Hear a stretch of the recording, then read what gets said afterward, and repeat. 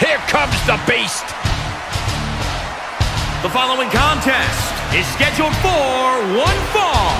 Making his way to the ring from Minneapolis, Minnesota, weighing in at 295 pounds, Brock Lesnar!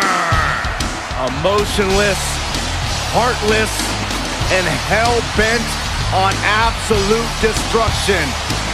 That, my friends, is the beast incarnate, Brock Lesnar. The beast! The beast, the conqueror, the mayor of Suplex City. Brock Lesnar has earned every nickname bestowed upon him. The most decorated combat athlete in the world, gracing WWE with his presence. Someone's gonna take a trip to Suplex City.